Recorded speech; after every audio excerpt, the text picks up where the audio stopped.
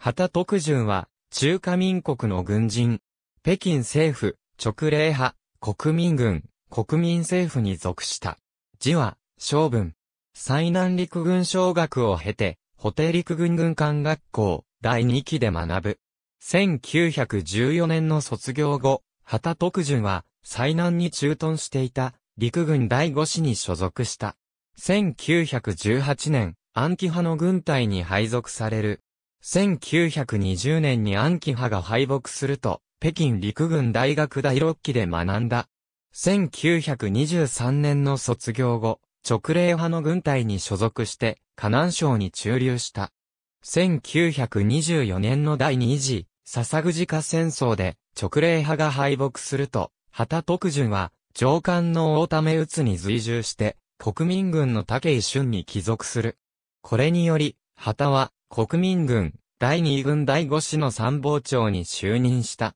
しかし1925年、直令派の誤配布が再起すると、大為鬱は、呉に帰参し、旗もこれに従う。以後、河南省一帯で、陸軍、第24師師長として、国民軍や中国国民党の北伐軍と戦った。1927年6月、兵玉省率いる国民革命軍第二集団軍が河南入りすると、旗徳順は後ろ盾を失ったため、兵に降伏してその配下となった。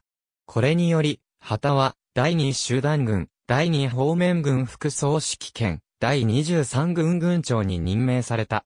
間もなく、第14軍軍長権第二集団軍総司令部副参謀長に昇進している。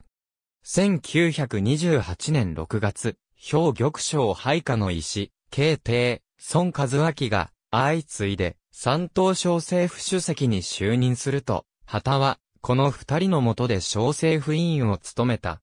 北伐完了後の兵玉省による反省解析戦争では、旗徳順は国民軍副総参謀長、第二方面軍参謀長などを歴任した。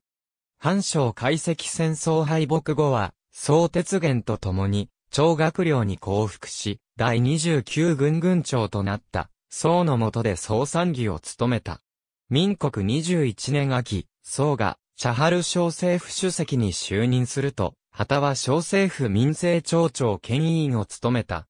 民国22年春、長が下野すると、省の腹心である、何王金らが主管する軍事委員会北平分会が設置され、旗はその委員に任命された。1935年6月5日、長北事件が発生すると、その事後処理のために、旗徳順が中国側代表として、日本側代表の土井原健二と交渉する。同月27日に、土井原、旗徳順協定が締結された。なお、旗自身は、旗戸協定と、国内で呼ばれることに恐怖を覚え、協定に同意したのは何王金であるから、何度協定と呼ぶべきだ、と吹聴したとされる。また、協定の結果として、総鉄元が、チャハル小政府主席を罷免され、旗が、その代理とされた。しかし、宋の不満が強かったため、旗はあえて代理職にも就こうとしなかった。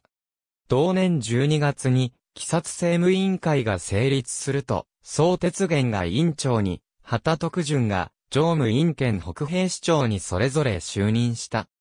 旗は、宋の参謀を務める一方で、小解析と宋との交渉、連絡役の任務を負った。1937年7月の六甲橋事件後、総鉄元は、組織的な防戦ができずに、日本軍の前に、北平、天心を喪失してしまう。宋が真に、将への圧戦をさせたところ、宋は、第一集団軍総司令に任命され、旗は、その総参議となった。以後の旗特順は、軍政官僚に転じる。軍法執行総監部副総監、兵役部政務次長、軍令部次長などを歴任して、民国35年に国防部次長に就任した。1948年12月、旗は、山東省政府出席兼陳太市長に就任した。しかし、この時点ですでに、山東省には、人民解放軍が進軍してきていた。旗がチンタオに着任したのは1949年3月のことであった。しかもわずか8日しか滞在できずに飛行機で、広州へ逃げ帰り、国防部次長にまた任した。同年8月、台湾へ逃走している。1963年9月7日、台北で病没。去年71。ありがとうございます。